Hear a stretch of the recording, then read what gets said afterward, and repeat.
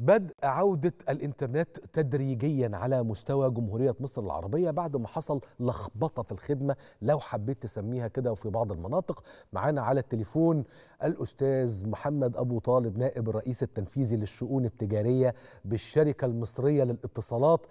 وطبعا يا أستاذ محمد أنت عارف أنا مبتسم ليه؟ منور. يا أستاذ يوسف أخبار حضرتك إيه؟ طبعا أستاذ. عارف مبتسم ليه أستاذ يوسف؟ صديق شخصي عزيز جدا عليا. طبعا إحنا مع بعض في المدرسة من وإحنا عندنا أربع سنين فارفع الألقاب وهنتكلم جد وكل حاجة لأنه إحنا مع المشاهدين على الهواء. إيه اللي حصل؟ تمام.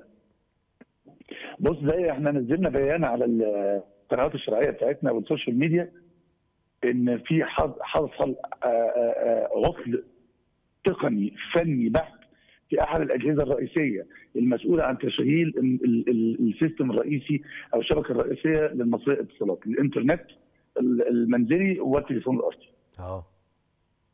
طيب. ده وتم تداركه سريعا جدا في خلال ساعة ونقلنا على الأجهزة اتنقل اوتوماتيك على الأجهزة البديلة تحويل مسار على الأجهزة البديلة وتم إصلاح العطلة خلاص ولكن الإنترنت هتعود تدريجيا لكل عملاء المتضررة في خلال ساعات إن شاء الله. طيب أنا أنا أنا مش عايز أدخل معاك في قصص تقنية لأنه أنت رئيس نائب رئيس الشركة آه، ونائب رئيس التنفيذي يعني وأنا عارف إن الأمور التقنية دي بتبقى معقدة حبتين لكن لازم هسأل سؤال هل من الوارد إنه ده يتكرر تاني لا إن شاء الله مش هيتكرر تاني هو نسبة حدوثه نادرة نادرة جدا ولكن آه. ولكنه يحدث.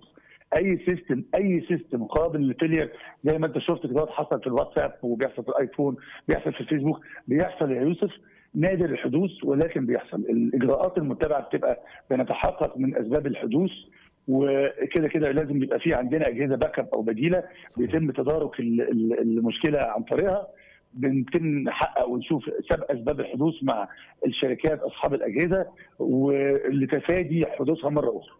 بإذن الله وبالتالي طبعا بعد ما عوده الإنترنت بالتدريج لكل العملاء وانتظامها واستقرارها إن شاء الله إن شاء الله هننزل ببيان لتعويض جميع العملاء آه، قريبا جدا.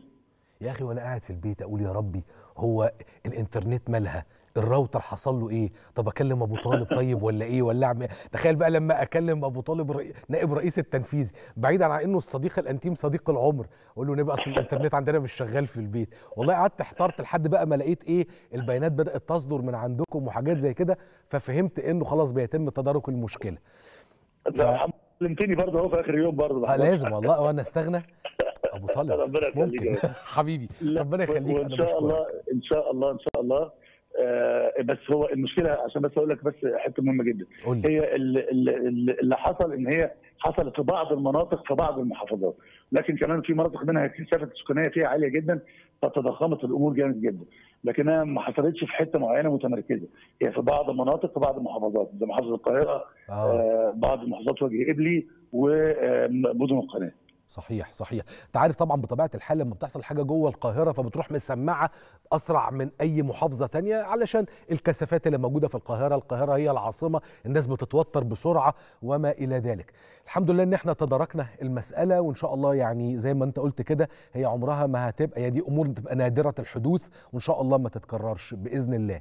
أنا بشكرك جدا جدا جدا نورتنا وشرفتنا وكل الشكر لزمايلي في الإعداد إن هم سمعوني صوت الاستاذ محمد أبو طالب.